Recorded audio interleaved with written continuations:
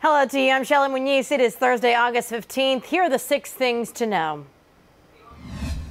Okay, another active afternoon for us. Now, the positive spin, uh, we are going to be dry this morning, but unsettled this afternoon. And in fact, we have a flood watch in effect from Palm Beach County right down to Miami-Dade through at least this evening. Look for some isolated flooding in spots.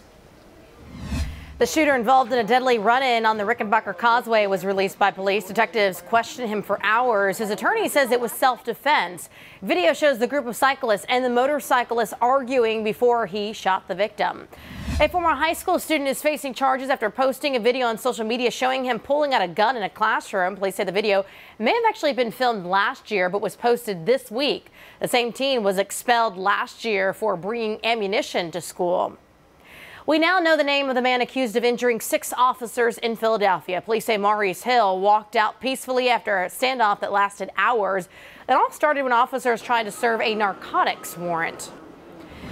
Miami Dolphins receiver Kenny Stills says he and team owner Stephen Ross have agreed to disagree. Last week, Stills said he was against Ross hosting a fundraiser for President Trump. Following a team practice Wednesday, Stills said he recently spoke with Ross about the fundraiser and agreed they have different opinions on the matter.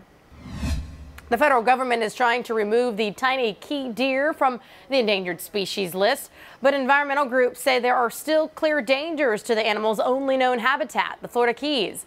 Right now, the plan is to remove the key deer from the list on August 22nd. That is exactly a week from today. And those are the six things to know for today. You can always follow all these stories and get a check on the forecast on the NBC6 app. And remember, you can watch NBC6 on our app, Roku, Apple TV, and YouTube. We'll see you dark and early to kick off your Friday tomorrow.